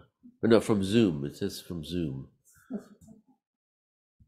Okay. Ryan, is room three for Susan and me? Is that correct? Hey, can you put it? Can you can you unfocus uh, Susan so that we can see who's left? Yes, yes, I can. um, okay, all you folks need to be put in breakout rooms. Great. Got it. So people should have uh, an invitation to join on the screen. If you're uh, one of the facilitators, stay here in the main room. Um, if not, go ahead to your to your breakout rooms. We got all but 34 in there, so we're making progress. And how many rooms are there? Do we know? Uh, I made 14 rooms to adjust it down. Hmm. Um, okay, so. so we had a couple of people. So should just each of the facilitators join a room, or? Yes. Well, how so do we how do we do that? You'll you'll have to put people in so that they we get one each. I will. Except for do um, them one by one. Susan and and Evelyn are going to do it together. Is that right? Yep. Mm-hmm. And then and see, Brian, see what's left. Brian, you already put me in room six. And whoever whoever is left in this room can be a breakout room with um, with Kathleen. Is Kathleen still here? Kathleen was going to do uh, notes with me. If she was- Susan, uh, Evelyn's going to do notes with you. Kathleen is going to stay in the. Oh, I okay. don't, but I don't see Kathleen. I don't see her. She might have left. You can Uh, return to the main room if you want, but I will send you and uh, uh, I will send you, Susan, and you, Evelyn, to the same room. And which room is it? Because you said put me in room six. just go whatever room he puts you in. Well, he had put me in. And I and I moved. Oh, uh, Kathleen did move to room a six. breakout room. She's in 11. Okay, so should I join six now? Yep. Yep. Okay, You great. should. Uh, Anduin, you need to be put in a breakout room as a facilitator. Yep. I would assume. Mhm. Uh, so let's find you. If all the facilitators raise their hands, maybe Brian will know who. That would make it helpful. Raise your, your digital hand if you can. um, I'm available if we if we need one more. So down. So um, All right, so uh, you can go ahead and uh, and join that room then, Tim. well, then make sure you got enough. So there's Peter hasn't got his Yep, hand. you, Uh, you're you're fine. We have more than enough. Okay, okay. So whoever offered to be a facilitator and we don't need you, then please just join a breakout room. And thanks so much for agreeing. Yep, and Cheryl, you can join that the room that you've been assigned to seven. That'll work out nicely. Should I go to two or you need me to move? I think you can go to two. Nick, I think as well. You can go to eight. Right. Uh, I don't see the breakout rooms in the bottom of my thing. Where is it? Uh, John, you should be able to go to room nine. I choose that. Let's see breakout room. Seven, seven, eight. Uh, Marilyn as well can go to room ten. Uh, let's see. Ellen, you can go to room eleven, please. Let's see. Kathleen is in room 11 right now moderating. Oh, okay. I thought she was going to return to to do the main Oh. room. So Um, we should get this group going in here talking and Ivana and I in a breakout room. to- And then this group should start having your breakout group because you'll run out of time. mhm.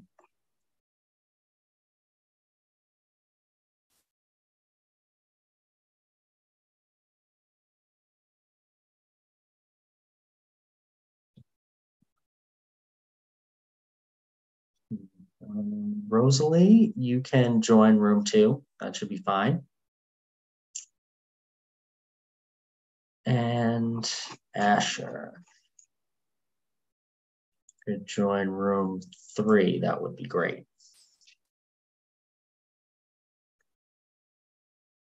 So it's just Vicky and Doug.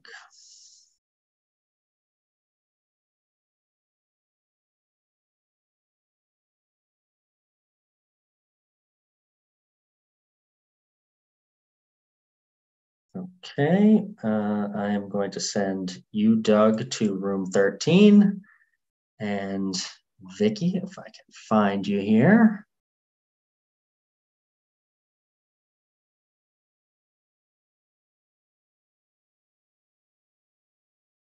Where are you, Vicky?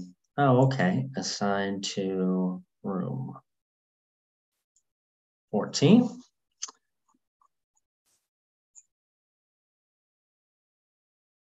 And Ivana, I will put you in room 14 as well, because that's where Susan is. Excellent. Then- Thank you so much. Yep. Sorry, there's always it's always a bit of a No, no, no, no, no. You're doing a, a fabulous job. Thank you.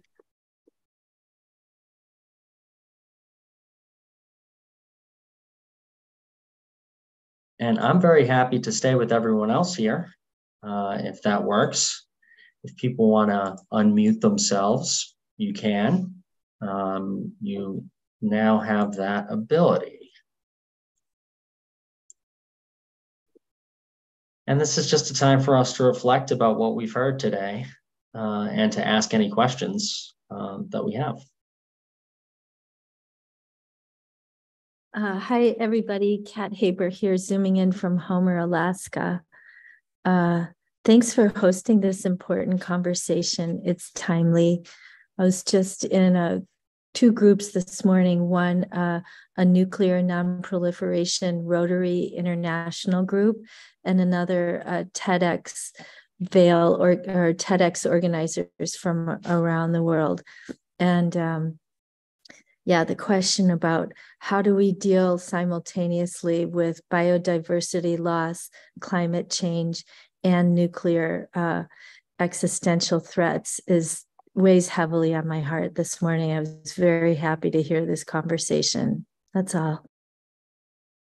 Yeah, I find that uh, very interesting. It seems like being up in Alaska, those might be issues that are all very relevant to your state. You know, obviously, we're it seems like we're feeling the effects of climate change. The further north or south you get, the change is more dramatic. Um, I'm not certain of it, but I would be shocked to hear that there weren't any nuclear bases in Alaska. There must be, right? Oh, yeah. In fact, Eielson Air Force Base has a contract to install a small nuclear reactor that should be functional by uh, 2027. We also have a squadron of F 35s here installed by our Republican senators. And we have your, the threat of uranium mines all over the state in what are otherwise indigenous communities and wilderness areas. So I, I am not, I'm also a TEDx organizer. So uh, whenever I get a chance to say that nuclear is not the solution, I do because I see the real damage that it does here. That's all. Yeah, and there's also a lot of oil up there. But the thing that could be a counterbalance to that, I would think, is that a lot of folks up there are probably up there because they love the majesty of the nature. Um, right. So how do you feel that those two um, that yeah. how do you feel that conflict? Those two, you know, groups um, butting up against each other. Are people compartmentalizing it? Um, the way our state runs uh, financially, 90% of our state budget is derived from one sector, the oil and gas industry. And here I live in Homer, which is five hours south of Anchorage. Anchorage is where half of Alaskans live. Mm-hmm. Up at the North Slope is where most of the oil and gas comes from, although some of it comes from across Homer and the lower Cook Inlet.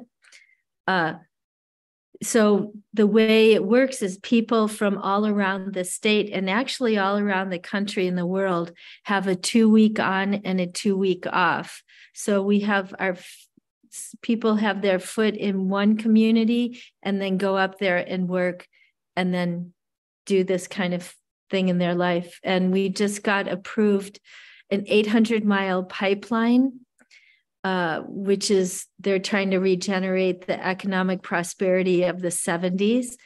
And um, Willow just got approved by President Biden to have um, extraction there. Extraction and wilderness are incompatible. They took out one word, the word not, saying that there will not be any drilling in this area. The Republicans in recent this last Congress took out that word not and added a fifth component to the conditions under which the Bureau of Land Management can uh, drill in that area. So it said it went from it's not compatible to saying it is compatible and it must take place.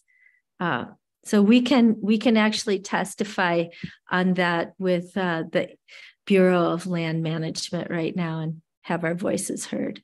That's all. Patrick and, and Vicky and, and Lena, if you can, it, I'm not sure if it's asked. Oh, there you are. You're unmuted. I want to bring you all into this conversation as well.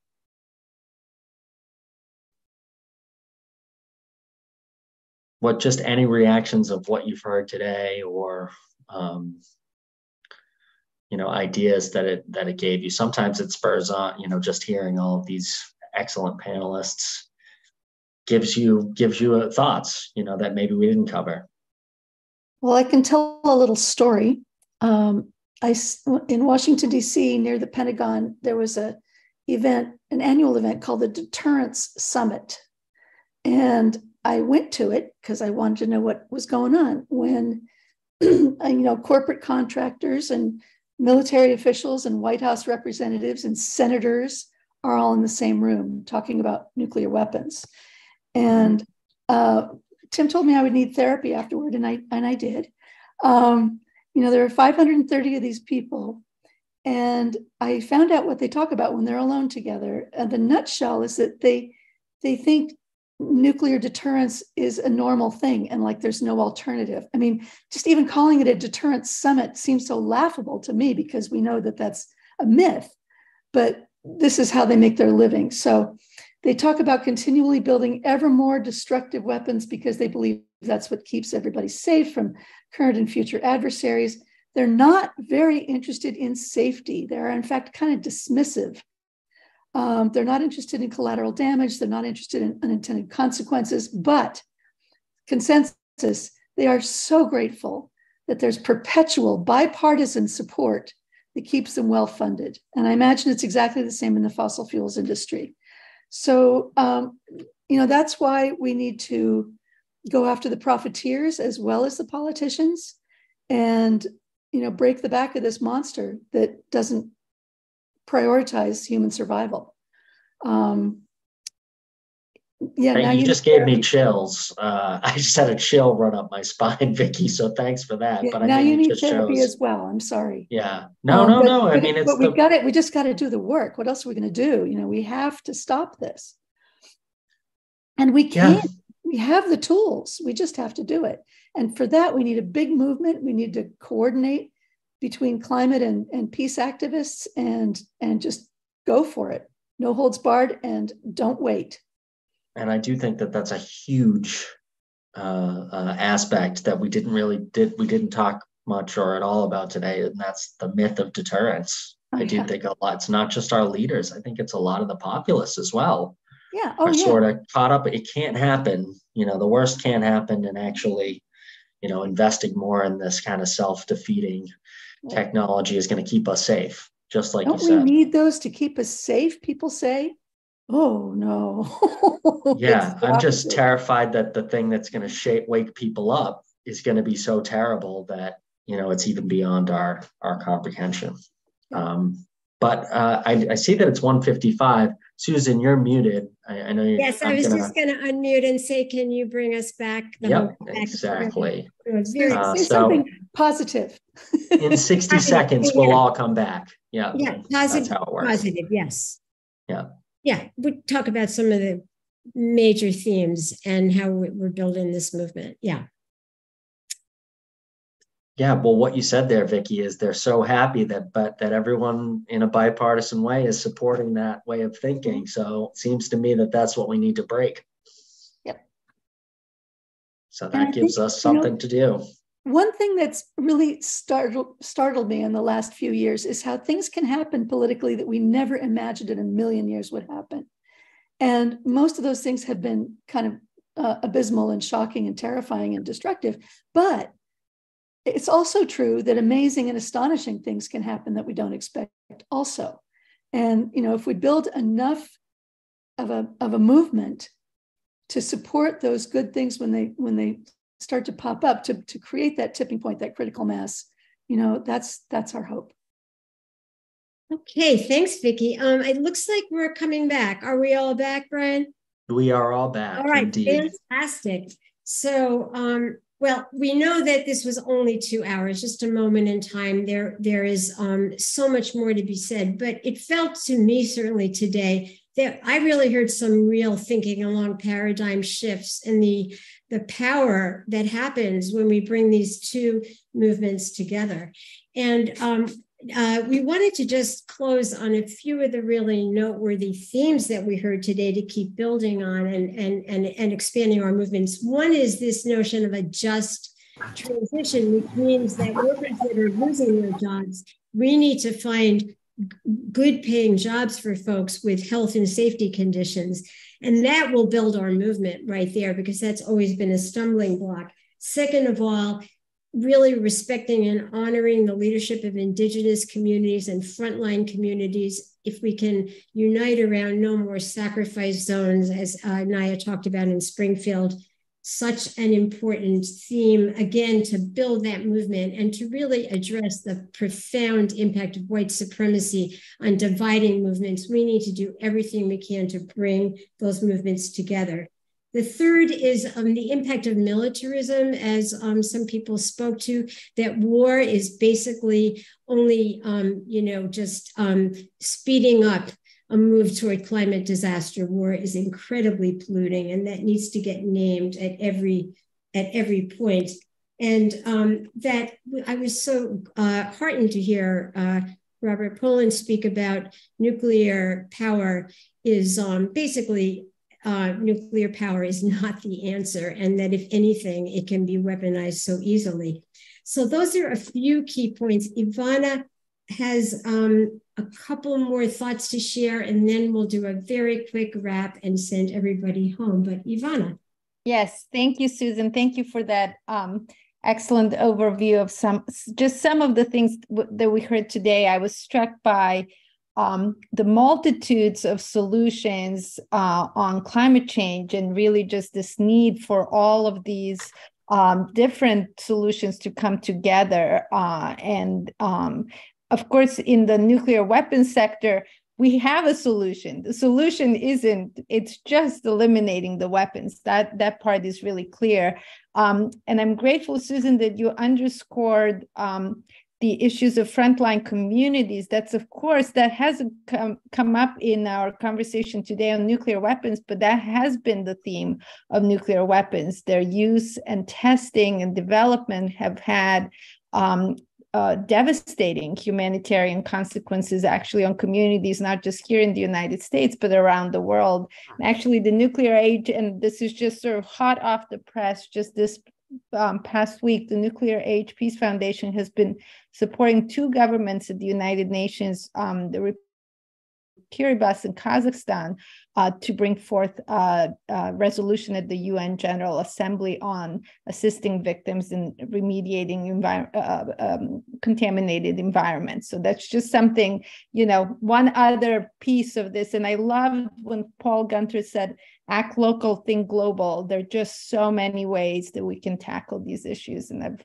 um, so enjoyed uh, all of the discussions and, and facilitating this with Susan. Well, that was a that was a great joy for me as well. And just want to close on uh, two notes. One is deep appreciation to the organizers, the speakers, the tech team, small group facilitators, co-sponsors, and especially to every one of you who showed up today to put your heart and soul and attention on building and amplifying these two existential movements.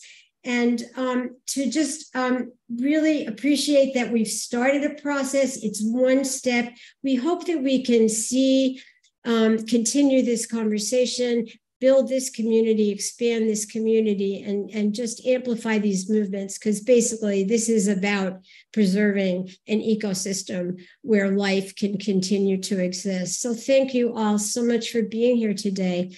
And um, everyone. Thank yes. you, Susan. Thank you to everyone who was involved in organizing this and Brian for helping behind the scenes with all of the technical work. Thank you. Thanks, thanks to Ivana and Susan for, for guiding us through the whole day. Thank you so much.